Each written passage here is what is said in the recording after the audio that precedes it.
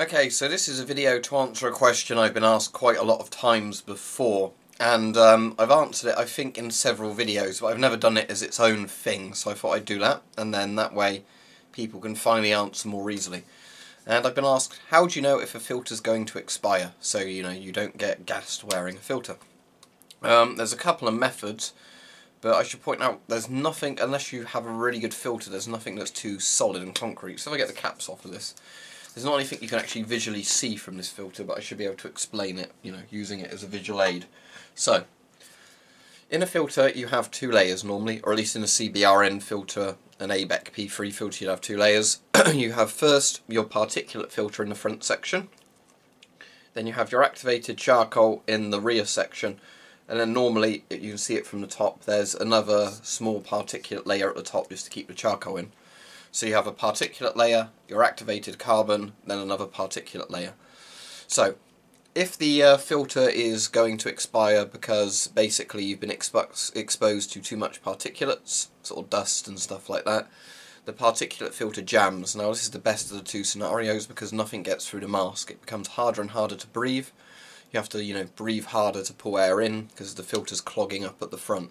If you're exposed to a large amount of tear gas in a short time with a filter on, that will happen. So once the you know filter starts getting clogged, you find it harder to breathe. You know it's time to switch the filter because you know otherwise if you leave it on too much longer you're going to suffocate because nothing's going to get through the filter.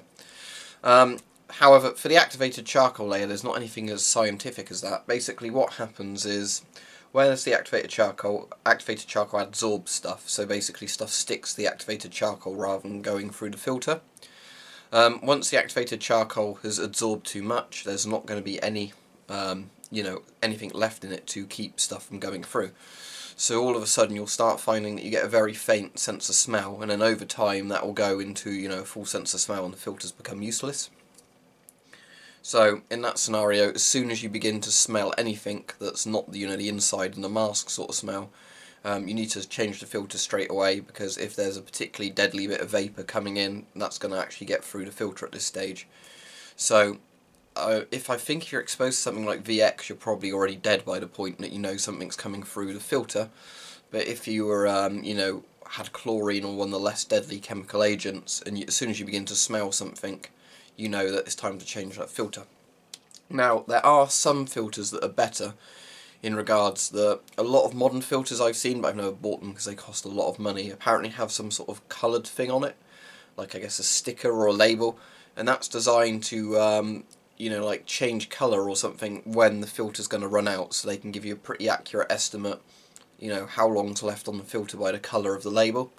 So I guess um, there's maybe a bit of activated carbon in that sticker or something, and then once that's exposed to the air along with the filter internals it should roughly you know change at the same time. I'm not entirely sure how they work because I don't have one but it's obviously an idea to make it a bit safer than just going by can I smell something. The other cool filters, and I'll definitely pick one of these up if I can find one, um, are some filters I've seen that have clear plastic around the outside so you can see the particulate layer and the um, actual charcoal inside it. So if you saw those, you might be able to actually visually see something going on, although you can't really look if the filter's like there or, you know, down there, what's going on with your filter, but if you're with somebody else, they could probably look over and see what's going on with your filter.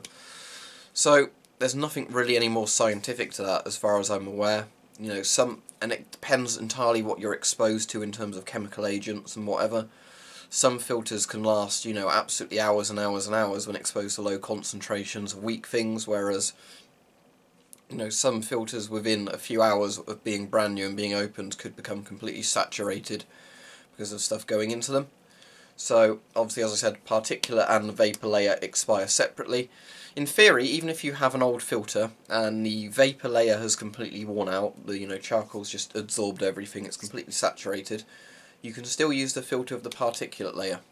So, if you have a P3 filter like one of these, is this a P3? Yeah, this is a P3, it says there. So if this filter it completely expires, I could still attach this to a mask. It's bulkier than having just a P3 filter alone, but the P3 filter would function absolutely fine, and that means that I could use this for dealing with dusty environments and things like that, no worry. So even expired filters can be useful against the right things, but obviously be careful what you are using them for.